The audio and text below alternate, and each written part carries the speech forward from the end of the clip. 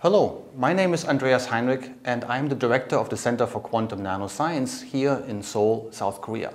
We are located on the campus of Ewha Women's University and today I have the special honor to introduce a tutorial to you um, where we want to explain ESR STM, electron spin resonance together with scanning tunneling microscopy. Now let's take a look at the image here. This is the Center for Quantum Nanoscience. So let's start by walking inside. This is a picture taken right before the coronavirus outbreak of all our participants in the Center for Quantum Nanoscience, together with a few visitors.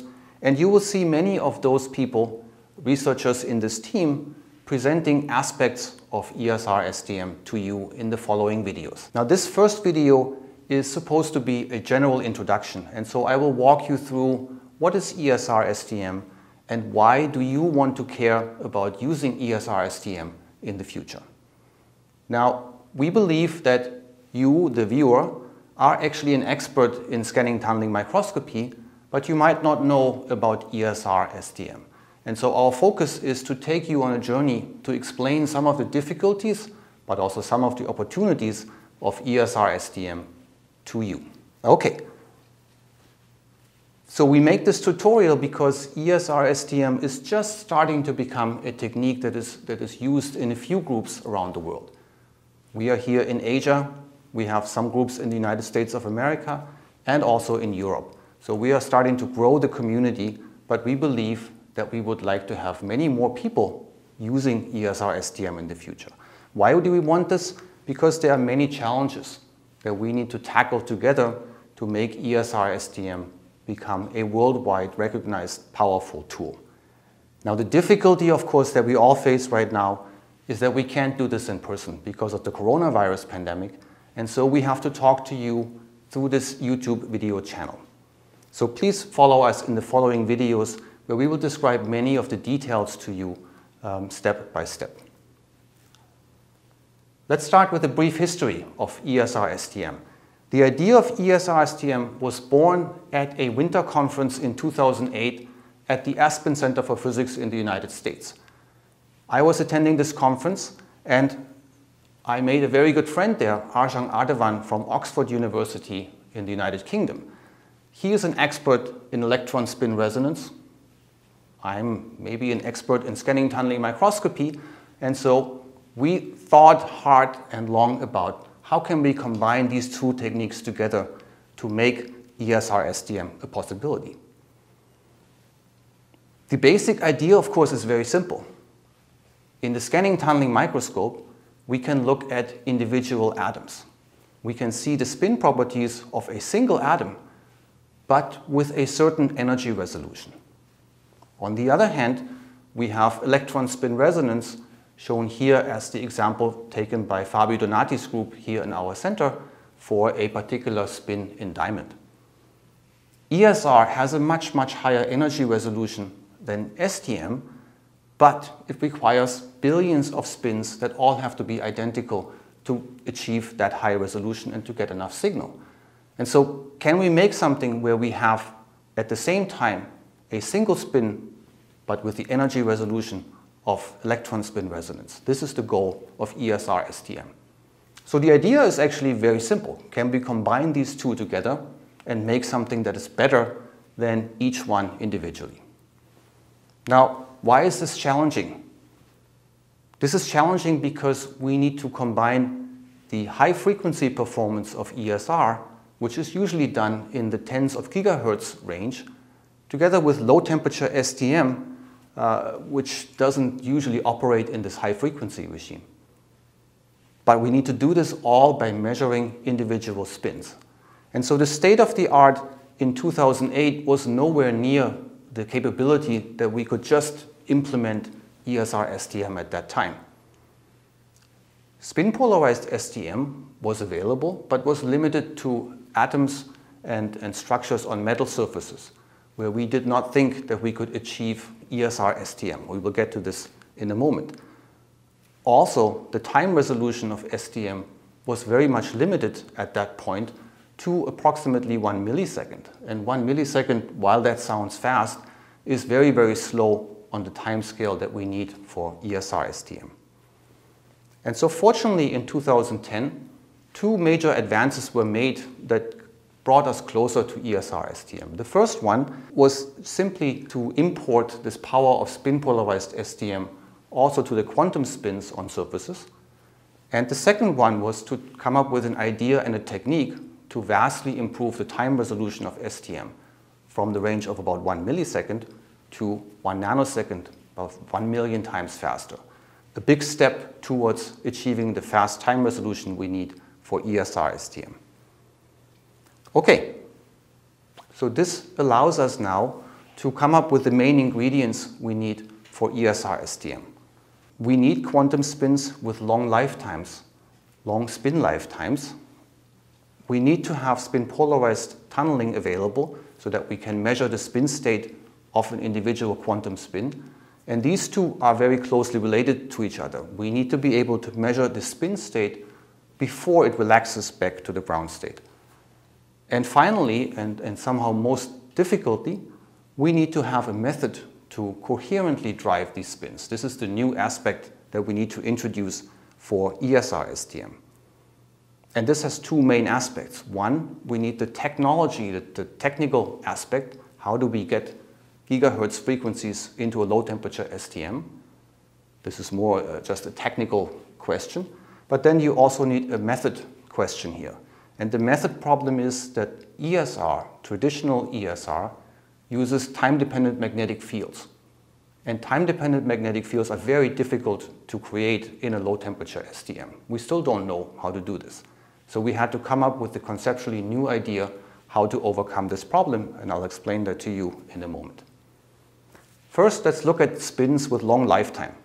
We've done work for about 15 years about spins on surfaces, so we know a very large number of, of, of components that we might need. For example, we can use a spin with a large magnetic anisotropy as shown here. This spin of a spin magnitude of 2 has a large easy-axis magnetic anisotropy and you can see that there are two states. Here the state 0, the ground state, and a state 1, a higher energy state. Those can be used as the two states that we want to coherently manipulate. And you can see, of course, that we have the advantage that we have an energy barrier between state 1 and state 0. And so state 1 is relatively long-lived, the spin lifetime is long, relatively easy to measure with the time resolution that we have nowadays in STM. The problem, of course, here is that we have a non-traditional ESR system here. A traditional ESR system is always a spin one-half type system. And in a spin one-half type system, we do not have any magnetic anisotropy, and therefore the spin relaxations are also correspondingly fast. And so we need to bridge between this fast spin relaxation that we expect in traditional ESR systems with these more, uh, more uh, or easier for us STM people systems with magnetic anisotropy. We can do this all by putting the spins on a thin insulating film, such as shown here, magnesium oxide, our favorite material to do ESR STM. The most important aspect that we need to memorize, that you need to take away from this video, is that we want to use very fast, time-dependent electric fields to drive electron spin resonance in the STM. This is because an electric field is relatively easy to achieve between the tip and the sample, Whereas creating a magnetic field of equal strength is very difficult and we don't, still don't know how we could do this even in concept. So how can we use an electric field to drive ESR? And this is where my friend Arjang is one of the world experts in utilizing electric field in spin resonance. He really came up with the key ideas here. This is the only formula I'm going to show you in this video, don't freak out. Um, this is a spin Hamiltonian for a spin of magnitude 2. And I just want to point out that we have in the first two terms, we have the Zeeman energy, which is always present for all spins. But if we have a higher spin, such as a spin of 2, we also have magnetic anisotropy parameters. And in particular, we have this term back here, which reads s plus to the 4 plus s minus to the 4. And for those of you knowing quantum mechanics, you can see that with this term, I can make transitions of delta m equals plus minus 4 which are perfectly suited for this, for this um, iron spin that I showed you before. So the key trick to realize is that these parameters in the spin Hamiltonian stem from electric fields in the environment. And if I can make these electric field time dependent, then these parameters will also be time dependent. And if they are time dependent, then they then can be used to drive ESR transitions. So again, the key is we use electric fields in the STM, which can be relatively strong. We use these electric fields to modulate the spin Hamiltonian parameters. And in principle, all spin Hamiltonian parameters will be uh, dependent on this electric field. And you have to find the right symmetry and the right parameters to match the, the, your spin on the surface. Okay, so this is all we need to do. We connect a high frequency source called a local oscillator in electron spin resonance to our STM via a special type of wiring, a so-called semi-rigid coaxial cable. We will show you this in one of our tutorials, how to do this in practice. And then we attach this to the tip and we add the DC bias voltage to this fast time-dependent bias voltage via a bias T. Main ingredient, relatively simple. Okay, so ESR STM was born in 2015, just before I started the Center for Quantum Nanoscience here in Seoul, when I was still uh, in the IBM Research Center in the United States. We first found this for a spin 2, this iron atom on MgO, where we have a transition of delta M equals plus minus 4 between the state 0 and the state 1. And remember from the previous slide, this is exactly the parameter that we can tune in the spin Hamiltonian to make an ESR transition between these two states. Now here's some data taken by our by, by Taeyoung's group here in, in, uh, in, in QNS um, showing the iron atom on MgO. What you can see here is the first ESR spectrum of this tutorial. We have on the x-axis here the frequency that we apply. This is the frequency of the electric field between tip and sample. And on the y-axis, we have the tunnel current or the change in the tunnel current as we measure the tunnel current as a function of frequency.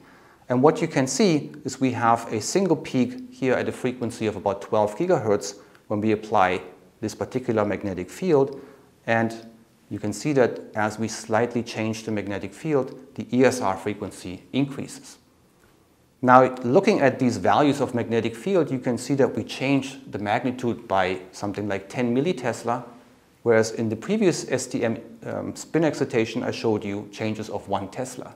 So we are much more sensitive to the magnetic field with ESR STM than we are in the traditional STM methods. So there you go. Here you have ESR STM and the goal of the following tutorials is to help you create such a spectrum, measure such a spectrum in your own machine. Now, as you can see, the ESR frequency goes up with increasing magnetic field as you would expect for the Zeeman energy. Okay, the power of ESR STM lies in two parts, and this is the end of my tutorial. First, you can see that we have a very sharp line. If we are careful, if we go to small tunnel currents, you can see we have a line that is only a few megahertz wide. Now, what is a few megahertz for you STM people? You might not live in megahertz. So let me put this in the millielectron volts to which you're used to. One millielectron volt equals 242 gigahertz. Here you have a line width that is only a few megahertz. And so this corresponds to an, an energy of only 15 nanoelectron volts. This is thousands of times better than any normal STM resolution. And this is of course true for all spin resonance. A spin resonance is never limited to the temperature, the spin resonance is limited to the quantum coherence time T2 and to some other parameters, but it does not necessarily depend directly on the temperature. So you can get much, much better energy resolution by utilizing a spin resonance. The second point I want to, want to make here is that having such quantum coherence in the STM enables us to get to this bullseye here of utilizing STM for quantum coherent functionality in quantum nanoscience. And this is really where I believe the future of our STM work lies. We want to control spins, to use them for quantum sensing, and possibly also for quantum computing. So, I hope that I was able to show you how you can take the necessary steps, or at least begin to show you the necessary steps to take your low temperature STM towards electron spin resonance. If you're interested in more, we have a large amount of material available on our YouTube channel, but also on Instagram, Facebook, and other channels. And please follow the rest of our tutorials for more in-depth information about many aspects of ESR STM, and please feel free to contact me at this email address. With this, I invite you to enjoy the rest of our videos in this tutorial and please be an active participant in the discussions that we hope to have that stem from these videos. Thank you very much.